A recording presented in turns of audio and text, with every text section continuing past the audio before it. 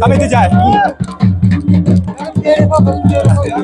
Assembly इंतबात के चलते हवेली कॉन्स्टिट्यूंसी पर जो लीडरान हैं, वो अपने नॉमिनेशन पेपर्स आज फ़ाइल कर रहे हैं। शमीन अहमद गने जिनका ताल्लुक पीडीपी पीपल्स डेमोक्रेटिक पार्टी से है, अपने हज़ारों मुआवनीन के साथ इस वक्त डीसी ऑफ़िस की जाने जा रहे हैं। शमीम साहब, आज आप नॉमिनेशन पेपर्स फ़ाइल कर रहे हैं। इस हवाले से बताएँ, हज़ारों के हामियों के साथ आप यहाँ पहुँचे यहाँ से क्या पैगाम है?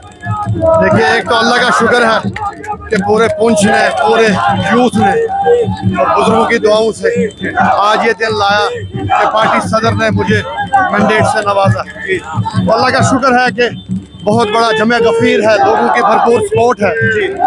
और ये भी अल्लाह का शुक्र है कि हमारे कवरिंग कैंडिडेट जो गुरमीत सिंह राजा साहब, और इम्तियाज़ अली बांडे साहब का जो हाथ है हमारे सर पर है, इंशाल्लाह जी इसी तरह और भी बाकी जो हमारे साथी हैं जिनकी अंतिम कोशिश से आज ये पॉसिबल हो पाया है।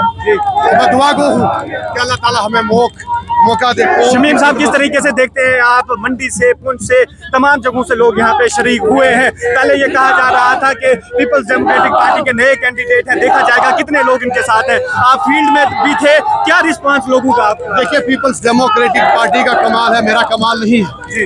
हमने लोगों को जुल्म तशद से बचाया है हमारे कायदे ने।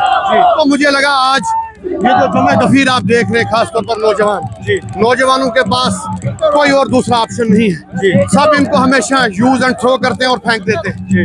लेकिन आज अल्लाह ने शुक्र मौका दिया है। आप देखें कि जो ये यम गफीर है इसमें ज़्यादा से ज़्यादा तादाद जो है नौजवानों की। क्या उम्मीद है नौजवानों और ये तमाम जो कॉन्स्टिट्यूंसी के लोग हैं ताला बहुत शुक्रिया। ये हमारे साथ शमीम अहमद गनई थे जो पीपल्स डेमोक्रेटिक पार्टी के नुमाइंदा हैं और हवेली कॉन्स्टिट्यूंसी जो है से जो है वो इलेक्शन कंटेस्ट कर रहे हैं। जम्मे कश्मीर लोगों का हज़ारों की तादाद में पुंछ के और हवेली कॉन्स्टिट्यूंसी के मुख्तलिफ़ इलाकों से यहाँ पहुँचे हैं और यहाँ पर इस वक्त डिप्टी कमिश्नर पुंछ के ऑफ़िस में जाया जा रहा है, जहाँ पे नॉमिनेशन पेपर फ़ाइल किया जाएगा। देखते रहे पुंछ टाइम्स वसीम हैदरी के साथ।